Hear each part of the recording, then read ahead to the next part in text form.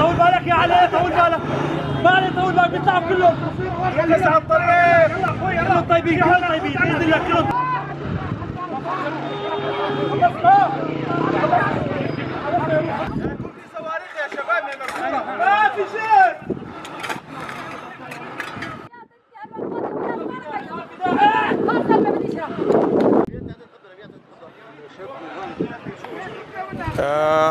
طيران روسي كافر مجرم. آه، نفذ أربع غارات على قرية نقير، قرية نقير يعني ما فيها شيء عالم مدني، ما فيها لا فصيل عسكري ولا فيها أي فصيل إسلامي ولا أي شيء كان. نفذ آه، أربع صواريخ آه، آخر صاروخ آه، ارتجاجي.